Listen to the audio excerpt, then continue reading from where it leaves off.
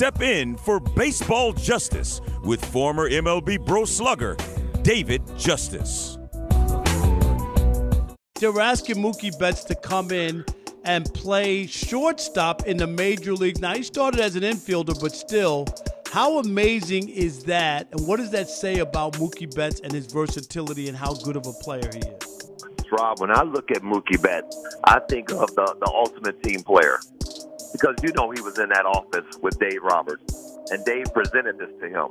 And I guarantee you, Mookie Betts sat there and said, Hey, I'll do whatever it takes to put us in the best positions in order to win each night. He gives the team now. Dave Roberts has so much flexibility because Mookie can play short. He's played second base. Now, like you said, he was drafted as an infielder. So it's not like he's a, a true novice coming into the infield.